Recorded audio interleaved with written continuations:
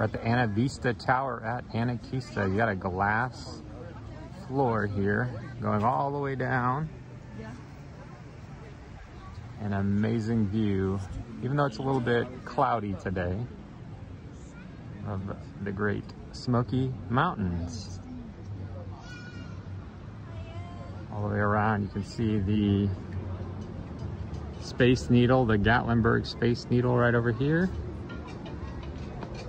We've got all sorts of mountain ranges which are identified all the way around. Always a wonderful day to be here in the Great Smoky Mountains. Make sure you head over to our channel, hit that subscribe button. We're going to cover lots of things going on here in the Great Smoky Mountains.